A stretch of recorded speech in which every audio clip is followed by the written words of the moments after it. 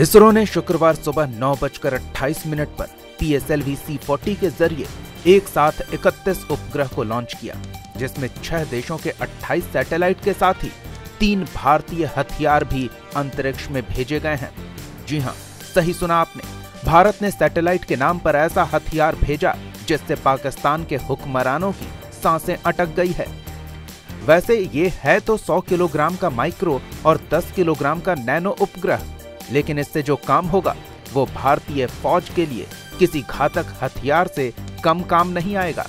हम आपको बताते हैं उपग्रह रूपी इस भारतीय हथियार की खासियत, जिसके कारण पाकिस्तान के अभी से ही पसीने छूटने लगे हैं। क्या है कार्टोसेट 2 सीरीज़ की खासियत? कार्टोसेट 2 सीरीज़ का उपग्रह पूरी तरह से स्वदेशी भारतीय अंतरिक्ष अनुसंधान संगठन इसरो द्वारा विकसित एक उच्च गुणवत्ता वाला सैटेलाइट है। इसे हाई रेजोल्यूशन शहरी नियोजन, बुनियादी ढांचे के विकास और उपयोगिता की योजना और यातायात प्रबंधन में इस्तेमाल के लिए इमेजरी इकट्ठा करने के लिए बनाया गया है। ये तो हुए हाथी के दिखाने वाले दांत, लेकिन पाकिस्तान की परेशानी की वजह है हाथी के खाने वाले दांत। यानी कि इस उपग्रह की वो खासियत, जिसके बाद अगर बॉर्डर पर एक पत्ता भी खड़केगा तो भारतीय फौज को उसकी एकदम सटीक जानकारी मिल जाएगी। कार्टोसेट में दो उपकरण लगे हैं।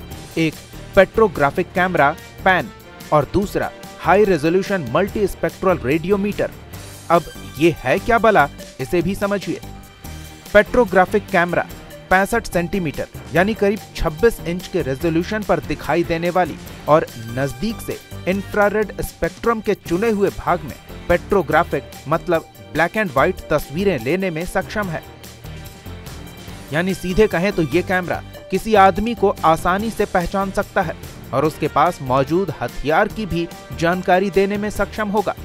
वहीं high resolution multi spectral radiometer चार मीटर चैनल रेडियोमीटर पूरे विजिबल स्पेक्ट्रम यानी पूरी तरह से रंगीन फ़ोटो के साथ क्लोज इंफ्रारेड स्पेक्ट्रम का हिस्सा भी है, जो कि दो मीटर के रेजोल्यूशन पर बेहद संवेदनशीलता से काम करता है।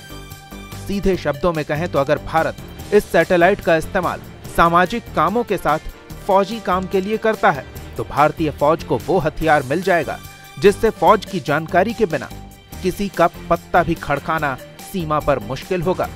और पाकिस्तान शायद इसी बात से खौफ खा रहा है कि जल्द ही भारत उसकी सीमा में घुसकर कोई और सर्जिकल स्ट्राइक न कर दे।